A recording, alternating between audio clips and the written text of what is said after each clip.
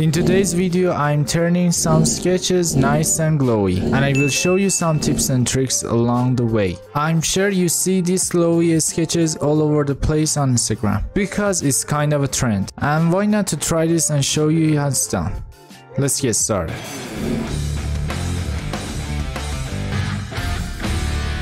First of all, I will make a new exposure and turn it down like this after that, I will make a new solid color and put it on blue and invert the layer mask and try to paint on his eyes and his horns for the glowy parts. And go to its blending underlaying options and put down the blues a little bit like I will try to paint on his horns too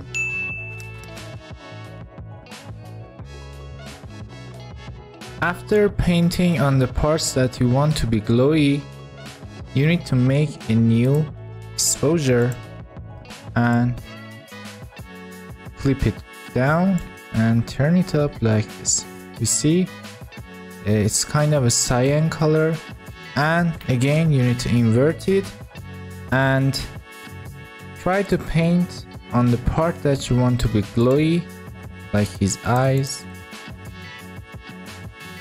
his horns. Nice and glowy.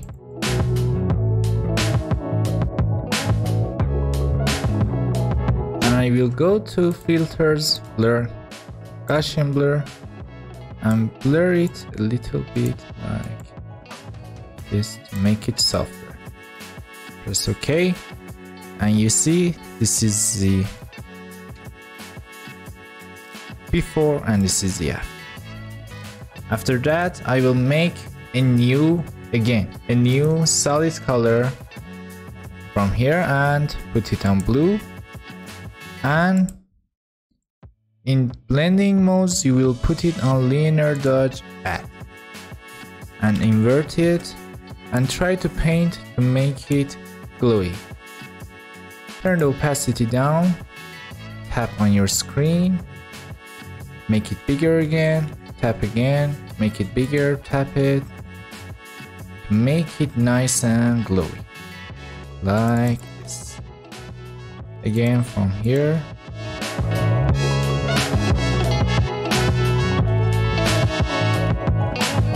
I will turn the fill a little down, the opacity of it. This is the before, this is the after. After creating your glows, you can even change your colors like this. I will put it on yellow or orange like this. And try to make different kind of horns glowy.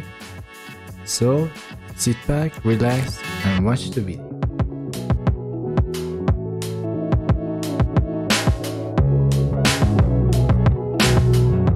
After this, we need to make another solid color and put it on the orange or yellow and put it on linear dodge and invert it. This is a part that everyone have problem in it and we will paint on the places that uh, our glow or effect gonna affect our subject in here. I will put this down like this and start painting on my photo like this.